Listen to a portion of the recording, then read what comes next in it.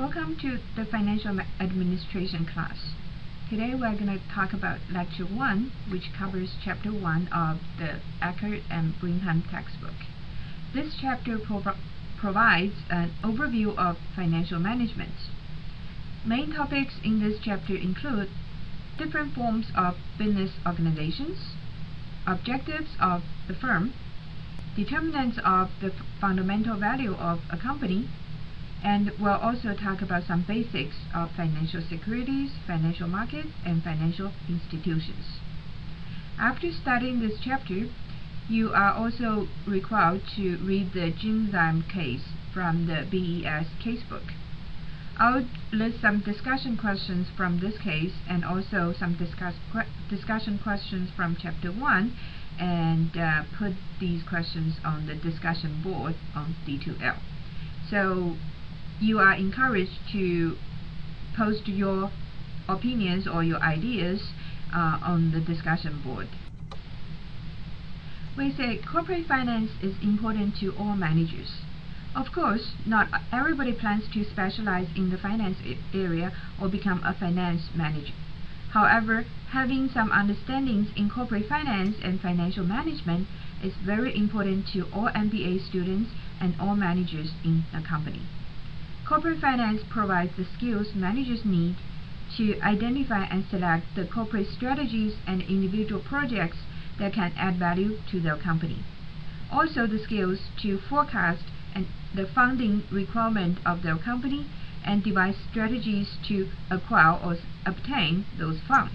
Since this class is about financial management in a business, let's start by looking at different types of business organizations. Usually we talk about sole proprietorship and partnership and then corporations. We'll discuss the advantages and disadvantages of each type in the next few slides. Imagine you start your business as a proprietorship. Then you are your own boss and you are the only owner. You are facing some advantages. For example, it's fairly easy to form the business and you are subject to fewer regulations.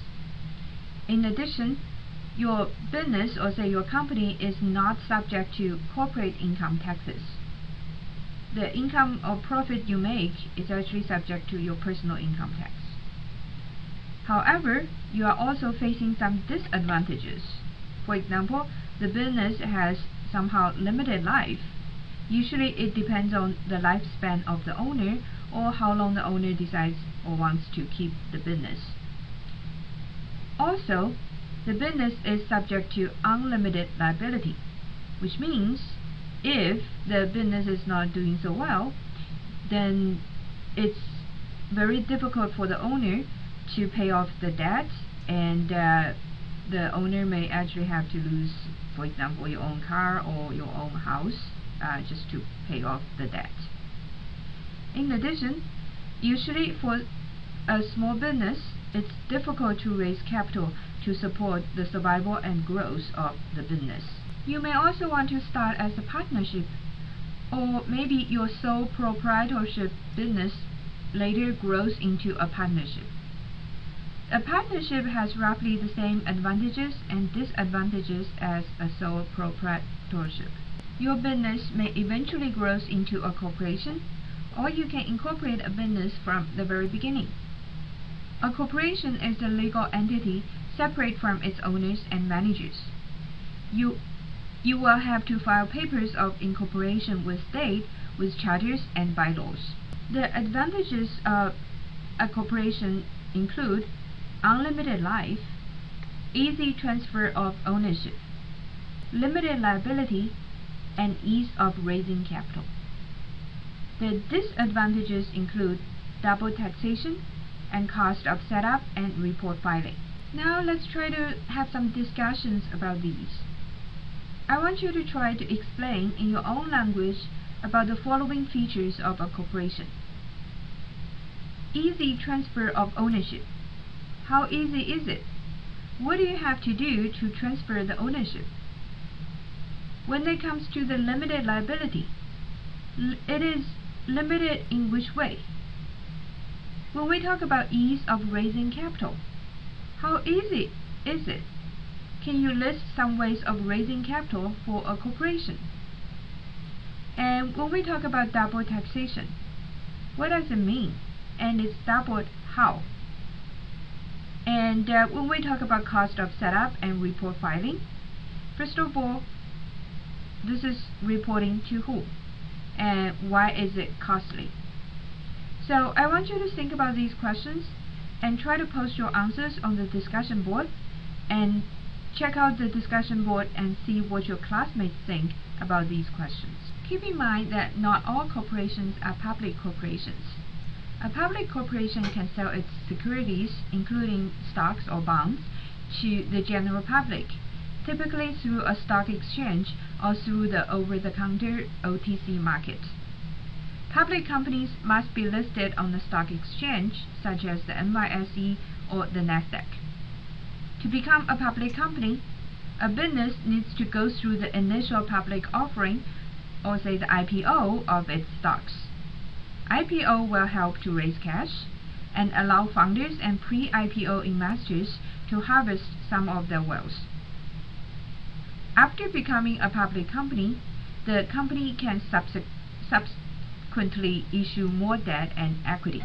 Philosopher, diplomat, educator, president of Columbia University, and Nobel Prize laureate Nicholas Murray Butler once famously said the limited liability corporation was the greatest invention of modern times, exceeding steam and electricity.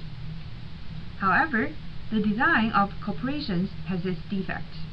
Because of the separation of ownership and control of the company, a, a corporation is subject to the agency problem, which means managers may act in their own interest and not on behalf of the owners or say the shareholders. Corporate governance can help to control agency problems. Corporate governance refers to the set of rules that control a company's behavior toward its directors, managers, employees, shareholders, creditors, customers, competitors, and community. Management's primary objective should be shareholder wealth maximization, which translates to maximizing the fundamental value of the stock, or say the fundamental stock price. This, of course, brings up a lot of other questions or discussions. For example, should firms then behave ethically? The answer is, of course, yes. And do firms have any responsibilities to society at large? And the answer is also yes. Shareholders are also members of a society, so maximizing shareholder value or say shareholder wealth is not contradicting with the goal of um, social responsibilities. Maximizing stock price is actually good for society, employees, and customers. There are studies that show that employment growth is higher in firms that try to maximize stock price. In addition, consumer welfare is higher in capitalist free market economies than in co communist or so socialist economies. Fortune magazine lists the most admired firms. In addition to high stock returns, these firms generally have high quality from consumers' review or in, and employees who like working there. We just established the idea that managers are supposed to work hard to maximize shareholder wealth or say stock value. What factors would matter to the value of a company stock or say the value of the company? From a valuation point of view, we say there are three main factors. To understand that, think about the following principles. First, other things equal, you would always prefer 1000 to 100. So in other words, any asset that could offer you higher amount of cash flows would be valued higher. Second, you also would prefer receiving $1,000 today to having to wait till next year to get the same amount of $1,000. This tells you that any asset that could give you cash flows earlier would be valued higher. Lastly, assets with lower risks are usually more valuable than risky assets. To summarize, for an asset, be it a stock, a bond, a new product line, or a company. Its value is generally determined by the following three factors. Amount of expected cash flows. We say the more is better. Timing of the cash flow stream. The earlier or say sooner is better. Risk of the cash flows. Less risk is generally better. This course is essentially a study about how these factors can affect the value of a company and its stocks. And how can we improve the value of a company by looking at these three factors? In the next few slides, we provide some brief explanation about these factors and the valuation process. More details will be explained in the later chapters and later lectures. First, we want to understand how much free cash flow the company is expected to generate in the future. Free cash flows are the cash flows that are available or say free for distribution to all investors including stockholders and creditors.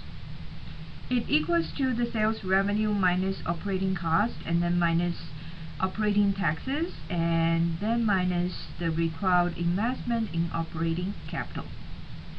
You don't have to worry about the calculation at this point. We will go over this in details in chapter 2. The weighted average cost of capital, or say the WACC, is used to measure how risky this company is. WACC is the average rate of return required by all of the company's investors.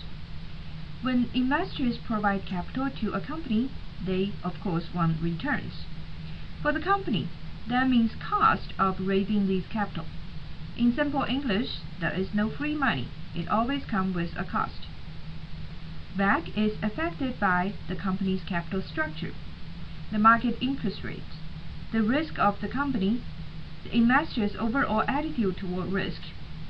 And the general idea is, the more risky your investors think you are, the more costly it will be for you to raise money from your investors. The details of the WACC will be discussed in chapter. A company's fundamental value or intrinsic value is the sum of all the future expected free cash flows discounted by the WACC to be converted into today's dollars. And this is captured in this formula here in this slide. Notice in this formula, the discounting process deals with the timing factor of the cash flows, or say when these cash flows are ex expected to be made or received. Let's take a look at the diagram on the next slide to see the big picture about value or say valuation.